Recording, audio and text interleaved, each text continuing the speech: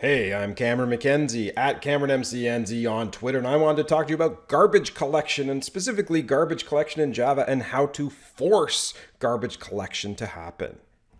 So I want to show you a couple of different ways to force garbage collection on the Java virtual machine. And when I say the word force, I mean suggest politely. As you can see, I got a little rock, paper, scissors application running here. And I've opened it up in Java Mission Control. And you can see, look at that. The memory is starting to go up and up and up. Looks like I've got some sort of a memory or allocation problem there. Well, how can I trigger garbage collection? Well, I put this little thing into my code where I say, hey, if somebody types in GC instead of rock, paper, or scissors, why don't we call garbage collection? So that's exactly what I'm going to do here. I'm going to type in GC, click OK. It's going to take me to this line here. I got a breakpoint, but notice that peak right up there. Look at what happens when I step over system.gc. Boom! We have now forced garbage collection on the Java virtual machine. So that is the first way that you can force garbage collection on Java. So I just triggered garbage collection with system.gc. Let's see if we can trim down these 30 megs of memory by calling runtime gc. So if I type in runtime here, it takes me this line of code, runtime gc. Let's see what happens if I step over this code. Will this line go down and boom, all of a sudden we have forced garbage collection using runtime.getRuntime.gc. Now let's take a look at another way to force garbage collection. We're getting up there. I'm going to do the Java command here. It's going to tell me that my desktop game is running on port 7544. So I can do this jmap histo live on 7544, click enter, and bang, you can see that once again that garbage collection has been forced and the amount of memory that's being consumed has gone right down. So that is the jmap command. You know, you've also got the Java command as well. You can do jcmd and then you can specify that you want to do garbage collection you want it to run on process 7544. Let's try this one.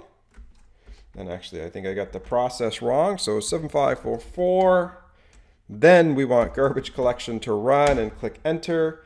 And then boom, we forced garbage collection once again. So there's another way that you can force garbage collection. You know, that's the Java diagnostic command. You can actually gain access to that right inside of Java Mission Control.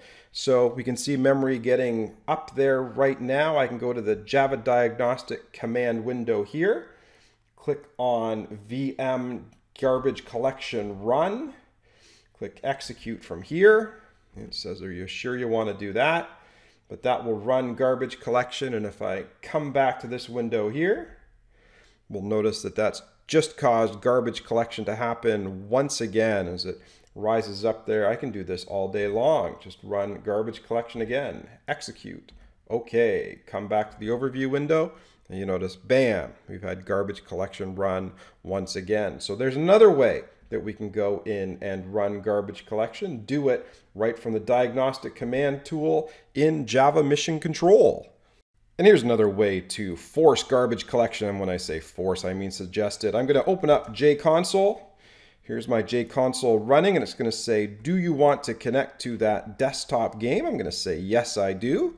I'll click connect. It says it's going to be an insecure connection and I'm not too worried about that. Here we go. We've now connected to this virtual machine. I'm getting a little bit more information here on JConsole. I can click on memory. You can see that memory is going up and look at this fun little button over here that says, do you want to perform garbage collection? I'm going to let that just rise up just a little bit right there. Six, nine, let's get over seven. There we go, eight. I'll click Perform GC.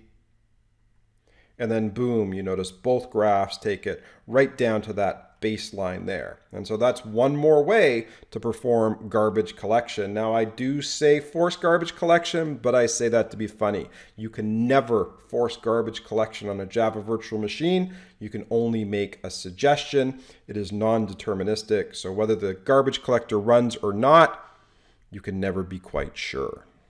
And there you go. Those are five different ways, maybe even six ways to force garbage collection in Java. And as I said, you can't really force garbage collection, but you can suggest it. Now, if you enjoyed that tutorial, why don't you head over to the serverside.com. I'm the editor in chief over there.